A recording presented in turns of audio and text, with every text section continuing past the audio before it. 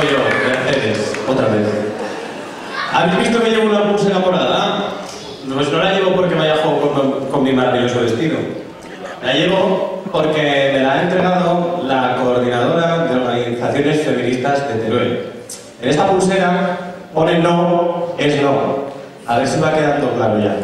Y esta pulsera también la llevan muchos de nuestros compañeros, porque antes las han estado repartiendo. Esto viene dentro de la campaña para estas vaquillas que han llamado de fiestas sin agresiones sexistas. Así un aplauso para este trabajo. A ver si nos va quedando ya de una vez que no es no.